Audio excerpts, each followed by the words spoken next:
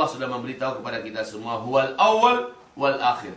Dia adalah yang paling pertama dan dia adalah yang paling terakhir. Artinya tidak ada sebelum Allah dan tidak ada setelah Allah Subhanahu wa taala. Allahu ahad. Allah itu Maha Ahad. La ilaha illallah. Ketika kita kata, kita katakan Allah itu adalah Tuhan dengan makna bahasa aslinya, maknanya Allah salah satu di antara para dewa. Allahu Ahad, Maha suci Allah. Allah itu adalah Ahad. Keyakinan dewa-dewa tidak ada dalam Islam. Makanya Zakir Naik beliau menyebutkan tidak pantas seorang muslim pun di bumi ini memanggil Allah dengan nama-nama yang tidak Allah ajarkan kepada manusia yang ada dalam Al-Quran, yang ada dalam hadis-hadis Nabi Muhammad Sallallahu Alaihi Wasallam. Maka Allah Subhanahu Wa Taala tidak disebut dengan God, tidak dipanggil dengan dewa, tidak dipanggil dengan Sang Hyang Widi, tidak dipanggil dengan Lord, tidak dipanggil dengan Tuhan, tidak dipanggil dengan panggilan-panggilan yang itu adalah bahasa manusia. Karena setiap pemanggilan kepada Allah dengan bahasa manusia, pasti Allah tidak tepat dan tidak pantas disandarkan ke sana.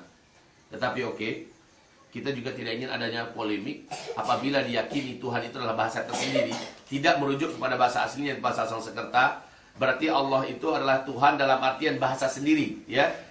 Yang dimaksud itu adalah Allah Subhanahu wa taala dengan segala kesempurnaannya yang ada, maka kita biarkan saja kaum muslimin tidak usah kita buat ribut di tengah-tengah umat. Siapa memanggil Allah dengan Tuhan maka dia kafir, musyrik. Jangan seperti itu. Biarkan saja umat dengan apa yang mereka pahami bahwa Allah itu adalah Tuhan, tapi mereka yakin Allah itu bukan salah satu antara dewa. Dah selesai. Tetapi yang paling pantas bagi orang yang sudah berilmu, yang sudah mengetahui adalah panggillah Allah itu dengan Allah. Ya Allah, Ya Rahman. Ya Allah, Ya Rahim. Ya Ghaffar. Ya Majid. Ya Karim. Begitu ya. Dan coba menghindarlah kita dengan menggunakan Ya Allah, Ya Tuhanku. Sekali lagi, ini bukan untuk polemik, tetapi hanya sebagai wacana dan wawasan. Yang paling beradab di hadapan Allah adalah kita memanggil Allah dengan nama-nama yang Allah telah kasih tahukan kepada kita. Dan nama-nama yang telah Allah kasih tahukan kepada kita ada 99. Kita kembali kepada ilah.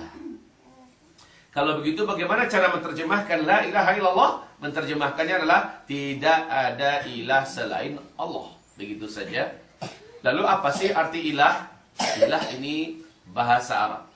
Maknanya di dalam kitab Lisanul Arab.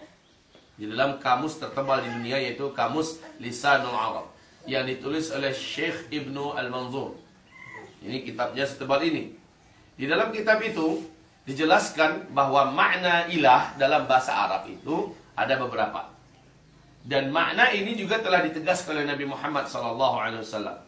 Pada intinya, makna ilah bila diglobalkan, dikerucutkan, ada pada satu kalimat inti, yaitu al-ma'bud. Eh? Al-ma'bud yang diibadahi. Yang diibadahi, ini makna ilah. Jadi, jika kita dengarkan lafaz La ilaha illallah, tidak ada yang diibadahi, kecuali hanyalah Allah. Tidak ada yang paling berhak untuk diibadahi, kecuali hanyalah Allah.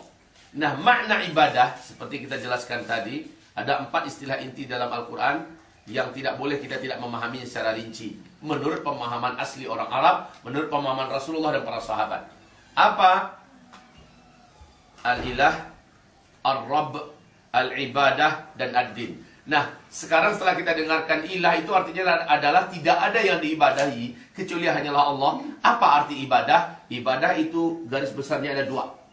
Al-muta'u bihaqqin dan al-matsbu'u bihaqqin. Al-muta'u bihaqqin adalah yang paling ditaati di atas siapa pun saja. Ini mana ibadah yang pertama. Mana ibadah yang kedua? Al-matsbu'u bihaqqin. Yang paling pantas diikuti dan didengarkan ajaran-ajarannya adalah dari Allah Subhanahu wa taala. Jadi, dua makna ini ini yang paling berhak untuk ditaati dan yang paling berhak untuk diibadahi. Dua makna ini inilah makna ilah itu. Tidak ada yang lebih berhak untuk diibadahi kecuali hanyalah Allah. Maknanya, tidak ada yang lebih berhak untuk ditaati kecuali hanyalah Allah. Tidak ada yang lebih berhak untuk diikuti ajaran-ajarannya kecuali hanyalah ajaran-ajaran dari Allah Subhanahu wa taala. Ini makna daripada la ilaha illallah. Kalau salah satu makna ibadah itu kita tujukan kepada makhluk, maka saat itu kita sudah melakukan ibadah kepada makhluk. Saat itu makhluk itu sudah kita angkat sebagai ilah kita selain daripada Allah. Dan Allah tidak mau disekutukan. Allah tidak mau disyirikkan. Suatu ketika Adi bin Hatim At-Ta'i datang kepada Nabi Muhammad. Saat itu dia masih menggunakan salib di dadanya. Dia berkata, Ya Muhammad, saya dengar engkau telah mengumumkan ke mana-mana bahwa engkau adalah Nabi terakhir.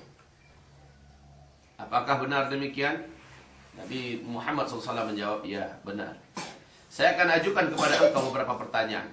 Jika engkau benar dalam menjawab, maka engkau memang seorang Nabi. Pertanyaan saya ini menjawab kecuali hanyalah seorang Nabi. Silahkan kata Nabi. Pertanyaan A, B, C, C, D, dan seterusnya. Dan Nabi menjawab, menjawab, menjawab. Terakhir, apa kata Adi bin Hatim At-Ta'i demi Allah? Tidak akan ada yang mampu memberikan jawaban atas pertanyaan-pertanyaan saya ini kecuali hanyalah seorang Nabi dan engkau telah menjawabnya dengan tepat.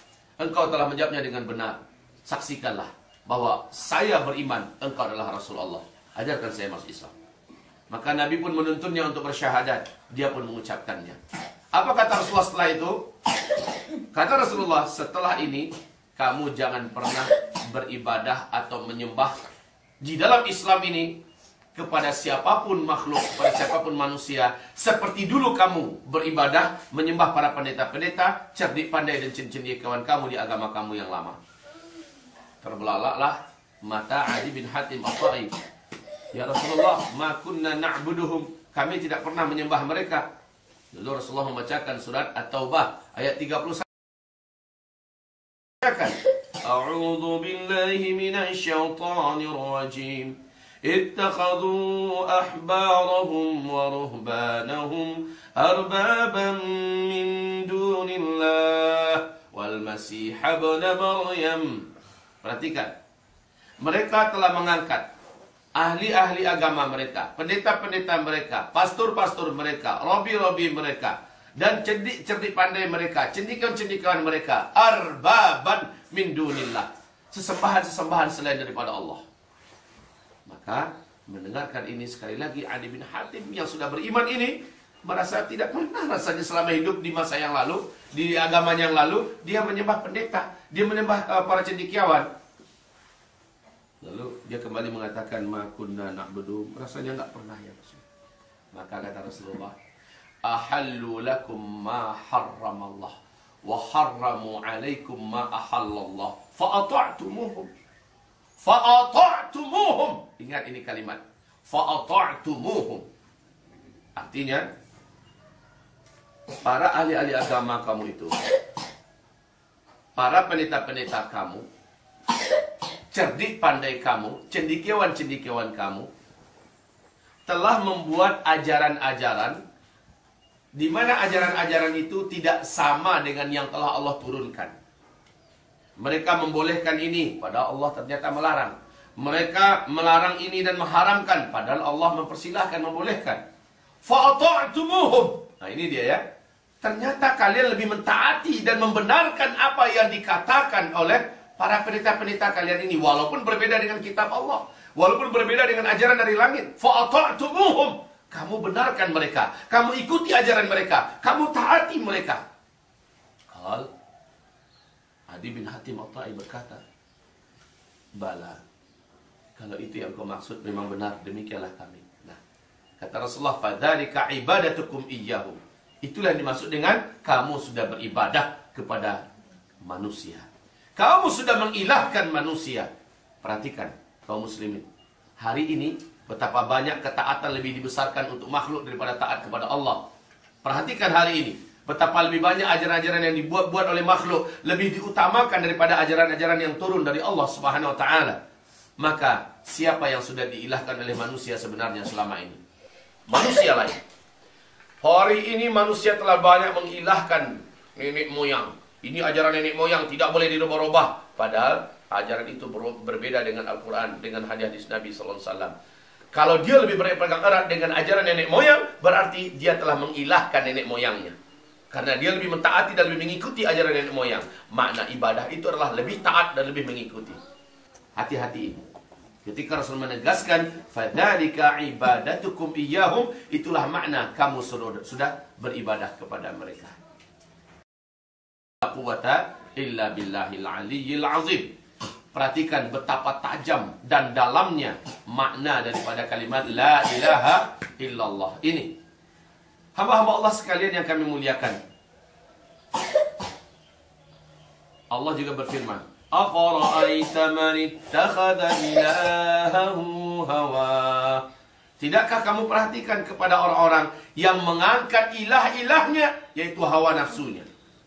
Jadi, dia lebih taat kepada hawa nafsunya. Dia lebih dengarkan pendapat pribadinya. Ilahahu hawa. Dia akan lebih dia mengatakan, "Ya, mungkin Al-Qur'an ini bagus dan tepat benar." Mungkin hadis itu benar, tetapi menurut saya lebih benar adalah apa yang saya katakan. Atau terserah begitu kata Al-Quran, terserah begitu kata hadis, tapi menurut saya begini. Maka berarti orang ini sudah mengilahkan hawa nafsunya. Berarti tidak benar apa yang dia katakan la ilaha illallah. Tetapi yang benar adalah la ilaha illa hawa. Hawa ya. Ya, tidak ada ilah kecuali hawa nafsu saya. Sama dengan begitu. Coba perhatikan, ketika iblis lebih taat dengan keegoannya, ketika iblis lebih taat dengan hawa nafsunya. Dia tidak mau sujud kepada Adam. Padahal sujud kepada Adam yang menyuruh adalah Allah. Kalau iblis itu memang mengatakan la ilaha illallah, tentu dia akan lebih taat pada Allah daripada mentaati keegoannya, mentaati hawa nafsunya. Dengan ini, iblis langsung dikatakan oleh Allah, "Hai iblis, kenapa kamu tidak mau sujud kepada Adam? Padahal perintah sujud itu sumbernya dari saya. Kenapa kamu tidak taat pada saya?" Intinya begitu. Jawaban iblis apa?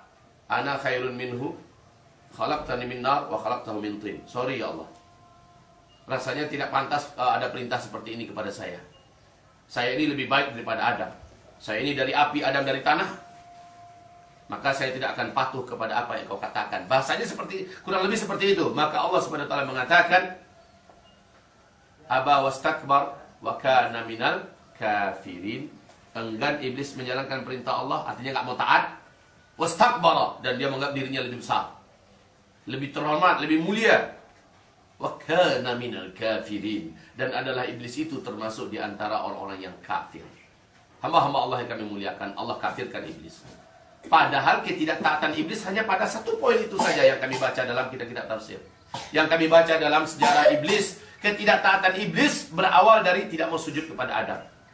Padahal sebelumnya iblis ini dalam kitab tafsir Al-Hafiz Ibnu Katsir, Al-Quran tafsir Al-Quran Al-Azim, dinyatakan bahwa iblis ini adalah makhluk yang paling taat kepada Allah dari seluruh bangsa jin yang ada di bumi. Nama aslinya adalah Azazil.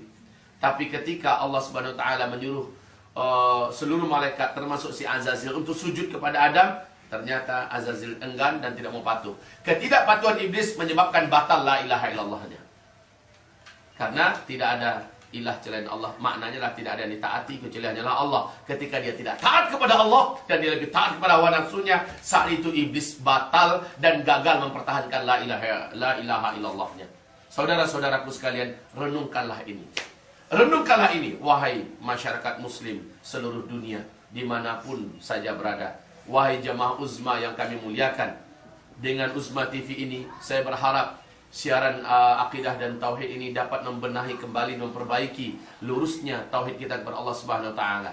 Insyaallah kita akan lanjutkan tentang pembahasan surat Muhammad ayat yang ke-19 dengan izin Allah Subhanahu wa taala.